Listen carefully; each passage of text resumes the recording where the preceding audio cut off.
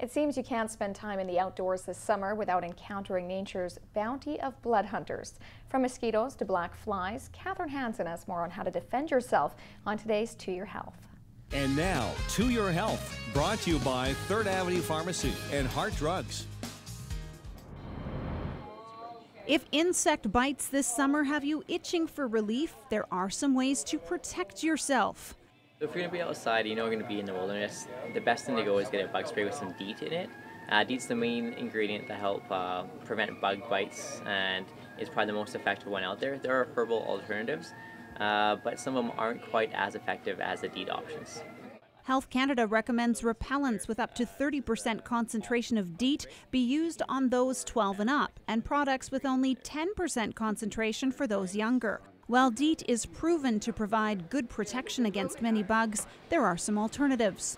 Natural products, you do really need to reapply every two hours, so consistency and frequency is really good with natural products. I think people are just looking for a healthier way to put products on their body. A gentler way to keep the insects at bay is a citronella burn in the area, a personal insect protector, or even homemade essential oils. A lot of people using the eucalyptus lemon oil. Um, citronella has been one used lots before, lemongrass as well, peppermint and lavender. And they're all really good, like moisturizing, and they'll help soothe your skin and help heal the bug bites as well.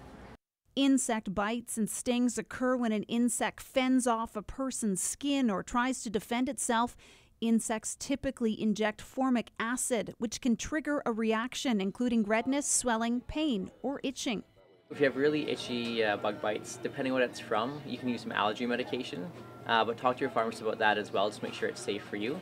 And also there's products like After Bites and even calamine lotion, uh, and they can help numb the bug bites and just provide some uh, temporary treatment.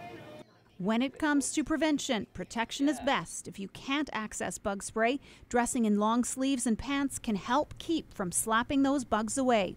To your health, Catherine Hansen, CKPG News.